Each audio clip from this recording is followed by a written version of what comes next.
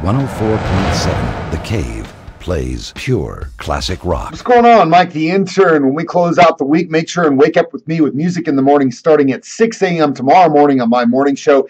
Stream it online at 1047thecave.com from your phone. Just download the 104.7 The Cave app wherever you get your apps at. And of course, you can listen to me on a radio.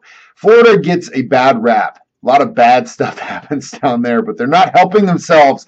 A man dressed up as a dinosaur carrying an air rifle arrested. We'll be talking about his story. Got your keys to the kingdom following the last preseason game against the Packers for the Kansas City Chiefs. That happens at 720. 745, you can win some barbecue from Buckingham's Smokehouse and barbecue during Guitar Hero Worship.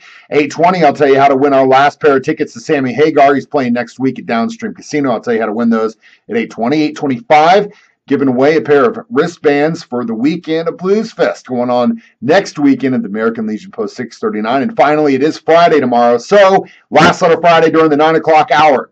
Coolest feature on my morning show. Don't miss out on any part of it starting at 6 a.m. tomorrow morning, right here on Springfield's only pure classic rock station, 104.7. 104.7 The Cave plays pure classic rock.